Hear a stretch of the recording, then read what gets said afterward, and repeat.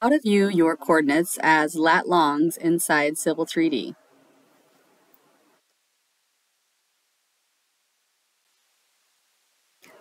Hello everybody and welcome to this little tool tip trick video about coordinates inside of Civil 3D. Uh, a couple notes here. So we have this drawing open up. Um, you can see by this geolocation blue modification ribbon highlighted here that it is in fact tied to a geolocation, so there is a coordinate system assigned. If we turn the map aerial map on here, you'll see that that does pop up. It is in an actual location. You can also take a look here inside the map setup and take a look and see what coordinate system that is assigned to. You see that it is in this Illinois State Planes NAD 83 uh, coordinate system. So knowing all that, You'll notice down here where you have the coordinates shown. If you don't have the coordinates shown, you can come over to this three-line little customization menu, come out all the way up to the top, and if you toggle that coordinates on and off, you'll notice that that toggles the coordinates in your taskbar down there on and off. We're going to go ahead and leave it on. And as I scroll through the drawing, you can tell that it is showing the X and Y coordinates inside here. So oftentimes, if you are maybe somebody wants to go out in the field to to locate something or lat and long is just uh, another way to view the coordinates that sometimes lends itself more to the surveyor side aspect.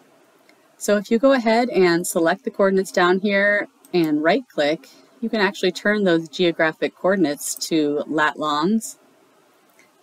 And mine is showing up, as you'll see, in degrees, minutes, seconds.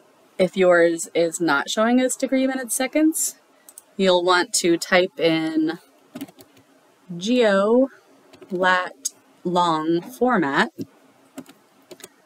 and go ahead and enter that value of 1 to turn that on. If I enter 0 to turn it off, you'll notice that it is lat and long, but it's just to that 4 decimals of lat and long um, coordinates down here in the bottom. So again, that command geo lat long format, you type in geo lat, goes ahead and pops up and gives you that uh, prompt, hit enter and select that value of 1 to turn that back on. And again, you'll see that degree minutes seconds.